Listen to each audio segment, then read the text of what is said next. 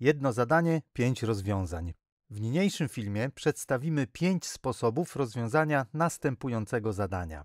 Ile jest nieparzystych liczb trzycyfrowych, w których co najmniej jedna cyfra jest dziewiątką? Dlaczego aż pięć rozwiązań, gdy powinno wystarczyć nam tylko jedno? Choć prawdą jest, że w matematyce do uzasadnienia poprawności twierdzenia wystarczy nam jeden poprawny dowód, to często różne dowody stosują różne narzędzia matematyczne i przez to mogą być później wykorzystane w innych sytuacjach. Wiele dowodów jednego twierdzenia nie sprawia, że staje się ono bardziej prawdziwe, jednak pozwala nam spojrzeć na to twierdzenie z dużo szerszej perspektywy. To samo odnosi się do obliczeń. Różne sposoby obliczania pozwalają rozwiązywać inne zadania na obliczanie, dobierając sposób obliczania do zadania.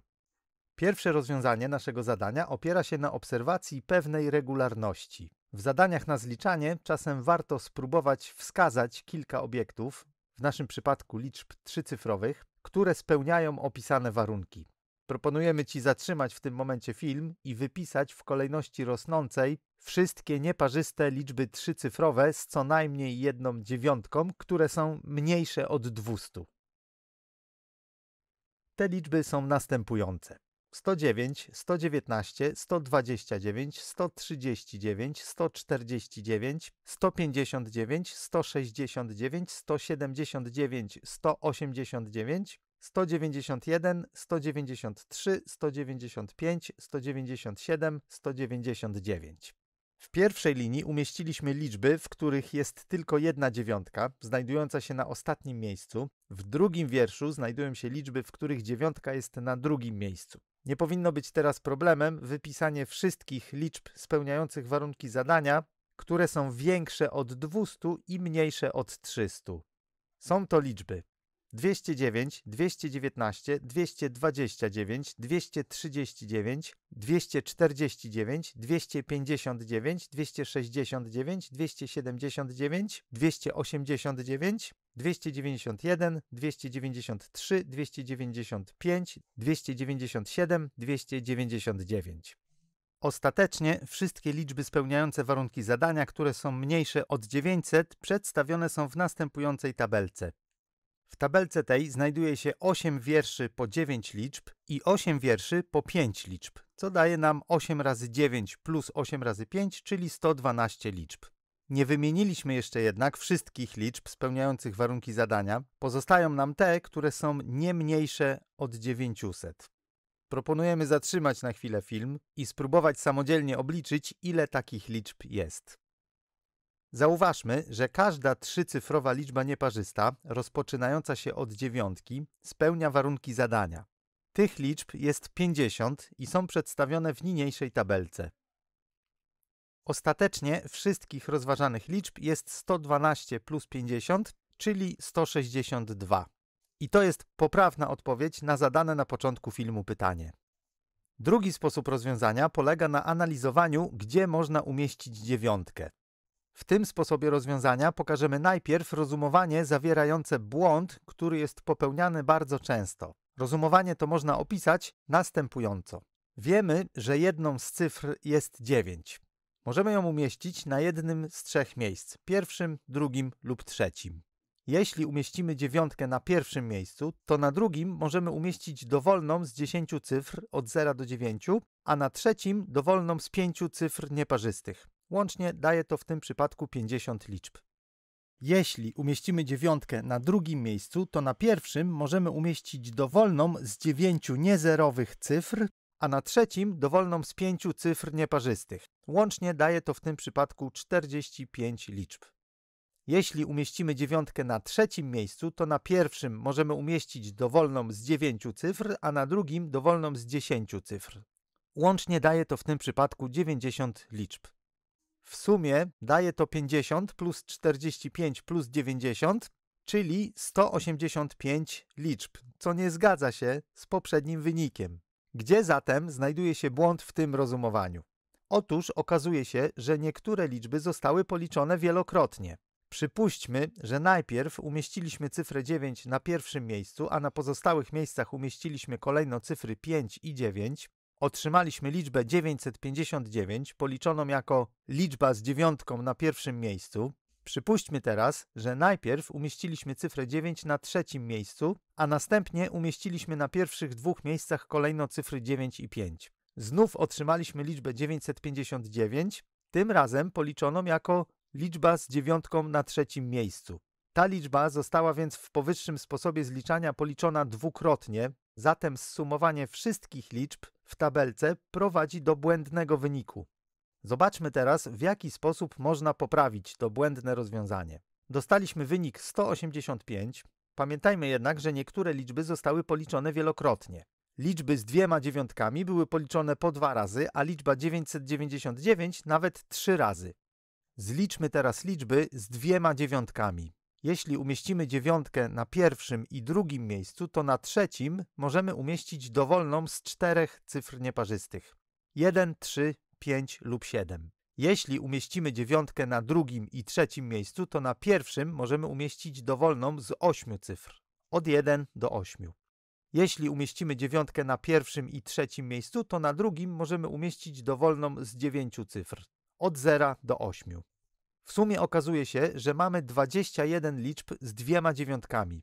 Od otrzymanego wyniku musimy zatem odjąć 21. Następnie mamy jedną liczbę, mianowicie 999, z trzema dziewiątkami.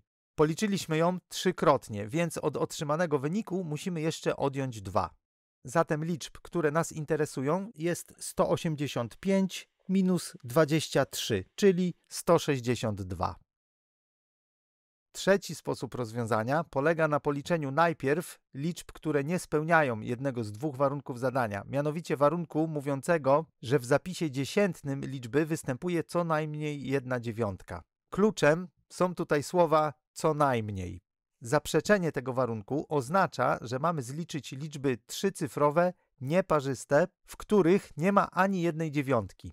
To okazuje się znacznie łatwiejsze. Najpierw zliczamy wszystkie liczby trzycyfrowe nieparzyste. Na pierwszym miejscu można umieścić jedną z dziewięciu cyfr od 1 do 9, na drugim jedną z dziesięciu cyfr od 0 do 9, a na trzecim jedną z pięciu cyfr nieparzystych 1, 3, 5, 7, 9. Łącznie mamy zatem 9 razy 10 razy 5, czyli 450 liczb. Teraz policzymy wszystkie liczby nieparzyste, w których nie występuje cyfra 9.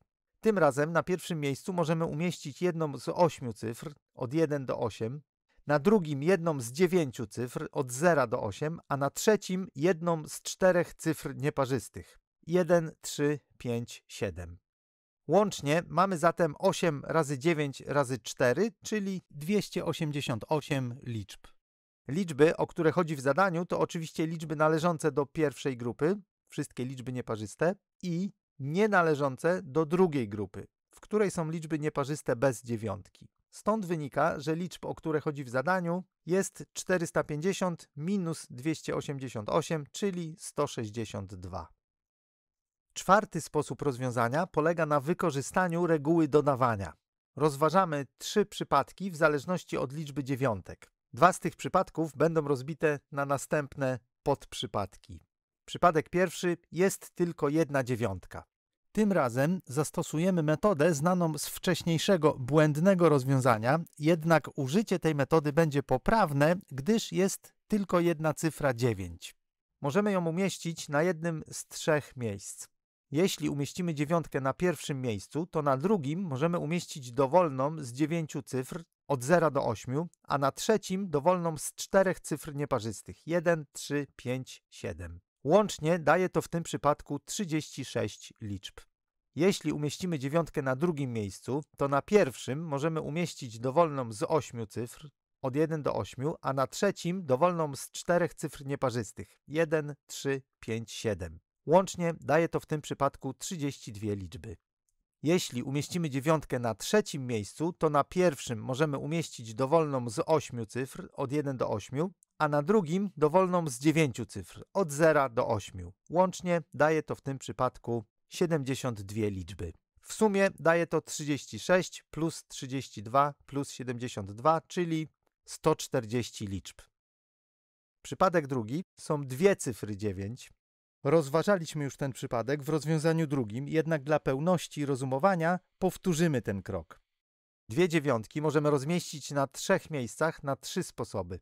Jeśli umieścimy dziewiątkę na pierwszym i drugim miejscu, to na trzecim możemy umieścić dowolną z czterech cyfr nieparzystych 1, 3, 5, 7. Jeśli umieścimy dziewiątkę na drugim i trzecim miejscu, to na pierwszym możemy umieścić dowolną z ośmiu cyfr od 1 do 8. Jeśli umieścimy dziewiątkę na pierwszym i trzecim miejscu, to na drugim możemy umieścić dowolną z dziewięciu cyfr od 0 do 8. W sumie daje to 4 plus 8 plus 9, czyli 21 liczb. Przypadek trzeci są trzy dziewiątki. Jest tylko jedna taka liczba 999. Sumując wyniki otrzymane w powyższych trzech przypadkach, dostajemy odpowiedź. Są 140 plus 21 plus 1, czyli 162 takie liczby. Piąty sposób rozwiązania polega na rozważeniu trzech przypadków w zależności od tego, na którym miejscu stoi pierwsza, licząc od lewej strony dziewiątka. Przypadek pierwszy. Pierwsza dziewiątka stoi na pierwszym miejscu, wówczas na drugim miejscu może stać dowolna cyfra, a na trzecim dowolna cyfra nieparzysta. Mamy zatem 10 razy 5, czyli 50 takich liczb.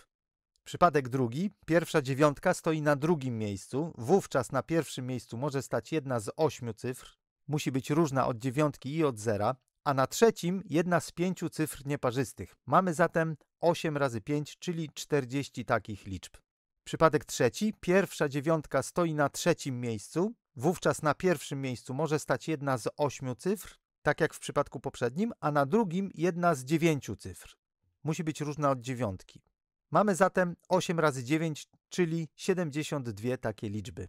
Łącznie mamy więc 50 plus 40 plus 72, czyli 162 liczby. Przedstawione pięć sposobów to nie wszystkie możliwe rozwiązania naszego zadania, przedstawiliśmy jednak te najprostsze. Na zakończenie proponujemy zadanie do samodzielnego zastanowienia, które można rozwiązać przedstawionymi metodami. Zachęcamy do wykorzystania kilku z nich. Ile jest trzycyfrowych liczb parzystych, w których występuje co najmniej jedno zero?